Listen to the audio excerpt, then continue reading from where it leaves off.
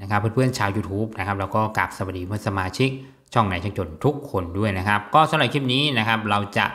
พามาเปลี่ยนภาษาในมือถือของเรานะครับสำหรับใครที่ซื้อมือถือมาใหม่ หรือได้มือถือมาจากเมืองนอกนะครับ ให้เพื่อนๆเปลี่ยนภาษาเป็นภาษาไทยนะครับ แต่ถ้าของใครยังไม่รู้ว่าเปลี่ยนตรงไหนนะลองดูคลิปนี้ก่อนนะครับ อันดับแรกนะครับ เมื่อได้มือถือมาให้ไปที่ setting นะครับ setting หรือการตั้งค่าตรงนี้ก่อนนะครับ ไปที่ setting นะครับ พอกดเข้ามาเสร็จปุ๊บนะครับ เพื่อนๆหาคำว่า general นะครับตรงนี้นะครับ กดเข้าไปนะครับ แล้วจะเจอคำว่า language นะครับอ่าตรงนี้กดเข้าไปนะครับ แล้วนะครับมันจะเป็นภาษาอังกฤษอย่างเดียวใช่ไหมครับ แล้วให้เรากด add ตรงนี้นะครับ แต่บางคนนะครับจะมีภาษาเรียงกันลงมาเลยนะครับ แล้วเราก็กดเลือกเอาภาษานั้นนะครับอ่าอันนี้เราจะเลือกเป็นภาษาไทยนะครับ แล้วเราก็กด apply ไปนะครับ แล้วมือถือของเราก็จะกลับมาเป็นภาษาไทยแล้วนะครับ ถ้าใครนะครับที่ได้มือถือมาแล้ว ส่วนมากนะครับถ้ามาจากเมืองนอกนะครับ ถ้าเป็นโซนของญี่ปุ่นเกาหลีนะครับ หรืออาจจะเป็นประเทศอื่นๆนะครับ ส่วนมากถ้า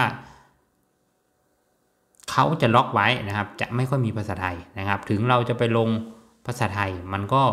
ไม่สมบูรณ์นะครับ ได้แค่นิดเดียวนะครับ ส่วนมากก็จะเป็นภาษาของบ้านเขา หรือต้องใช้เป็นภาษาอังกฤษนั่นเองนะครับ ก็วิธีการดูก็ง่าย ๆนะครับ วิธีการดู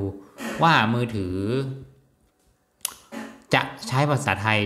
ได้หรือไม่นะครับ ส่วนมากนะครับให้สังเกตนะครับ ถ้าเป็นซัมซุงนะครับสมมุติซัมซุง J7 แล้วกันนะครับซัมซุง J7 นะครับของไทยนะครับก็จะเป็นอีกรูปแบบหนึ่งนะครับที่จะใส่สามารถใช้ซิมได้ซิมไทยหรือภาษาไทยนะครับหรือที่จะใช้งานภาษาไทยได้ทั้งหมดนะครับ มันจะเป็น ไม่มีนะครับ มันจะไม่มีโลโก้ผิดแปลกไป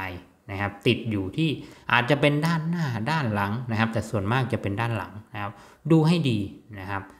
บางทีมันมีโลโก้ภาษาบ้านเขานะครับ ติดอยู่ด้านหลังนะครับ ส่วนมากจะอัพภาษาไทยไม่ค่อยได้นะครับ ต้องสังเกตนะครับ แต่ถ้าไม่มีโลโก้ภาษาอะไรเลย ติดอยู่บนมือถือไม่ใช่ว่าด้านหน้าหรือด้านหลังนะครับ ไม่มีโลโก้อะไรเลยนะครับ ก็ส่วนมากก็จะใช้งานภาษาไทยได้ เพราะว่ามือถือที่ไม่มีโลโก้บังคับให้ใช้ในประเทศนั้นๆนะครับ มันก็จะสามารถเพิ่มภาษาได้ทั่วโลกนั่นเองนะครับ แต่ถ้ามือถือที่มีโลโก้ของประเทศนั้นๆ หรือบริษัทของประเทศนั้นๆ ติดอยู่ที่ตัวมือถือเอง นะครับ ส่วนมากจะล็อกประเทศไว้นะครับ อาจจะใช้ซิมไทยไม่ได้ด้วยซ้ำนะครับ ก็ต้องสังเกตให้ดีนะครับ ก็ถ้าเพื่อนๆมีข้อสงสัยแบบไหนนะครับ ก็คอมเมนต์ไว้ที่ใต้คลิปได้เลยนะครับ หรือจะส่งเป็นคลิปวิดีโอนะครับ ส่งไปให้นายช่างจนที่ Facebook Fanpage ก็ได้เช่นเดียวกันนะครับลิงก์อยู่ที่ใต้คลิปนะครับ ก็หวังว่าคลิปนี้จะเป็นประโยชน์กับเพื่อนๆไม่มากก็น้อยนะครับ ถ้าชอบคลิปแบบนี้อย่าลืมกด ไลค์กดแชร์ กดติดตามไว้ด้วยนะครับ เจอกันใหม่คลิปหน้านะครับ สวัสดีครับ